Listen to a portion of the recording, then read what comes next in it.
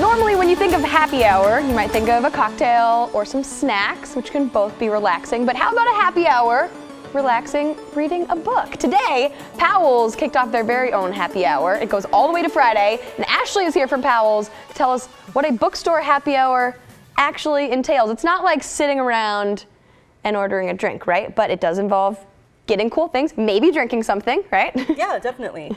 um, so for our happy hour, basically if you shop between the hours of 2 and 6 p.m. any day this week, you'll get this free tote bag um, that's filled with kind of goodies and special offers from some of our favorite local companies. Sweet. So all these things are in the bag if people, wow, awesome. They are. Some of our bags will have different items. Oh. Um, so it's kind of a surprise what you'll actually get, but this is kind of a representative. That's so fun. So yeah, show us the things that come in there. It's really cool. Are they all like Oregon things? Yeah, they're all kind of local companies. So a lot of people do send Oregon themed items.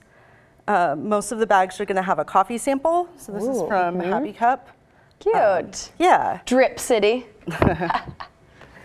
um, Pacifica Beauty sent us a lot of kind of full-size beauty supplies. So some of them will be hair products or kind of like perfumes or things like that. This looks so magical. The whole thing is like holographic and super fancy. It's their crystal gem line, which is really fun. Sparkle. Oh yeah. I just like looking at it. I'm sure it's a great product inside the box too. um, we have some tea samples. We have Ooh. Steven Smith tea and then a few from Stash Tea. Um, and then Microcosm sent us several different books, so each will have a locally published book from Microcosm Publishing. Oh, cool. You can have your tea or some coffee, sit and read your book, have a lovely, relaxing time. Definitely. Um, we have free drink samples from World Cup, which is actually the coffee store in downtown Powell's location. Oh. Uh, there's Nossa Familia, which is another local coffee roaster. Mm -hmm. um, Jasmine Pearl Tea. Wow. And then you get it all in this excellent happy hour bag. Is there any other way people can get this happy hour bag? This is like the only.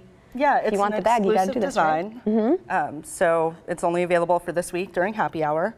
And you just have to shop between two and six all the way through this Friday and spend 50 bucks, right? Yep, it's a $50 minimum. Um, and we do have kind of a limited supply, so if you're interested, we suggest coming earlier in the week rather than later. Oh, so you can get to Friday, and if it was too popular, all the books could be gone.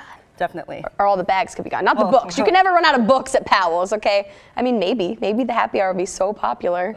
we'll sell they clean out the shelves. That's fun. And how many Powell's locations are there now in Portland? So we have five. There's the two on Hawthorne, one downtown. We have our Cedar Hills location and the PDX airport location. Excellent. Well, awesome. Good luck with the rest of happy hour week and uh, enjoy all these wonderful local things. We'll be right back.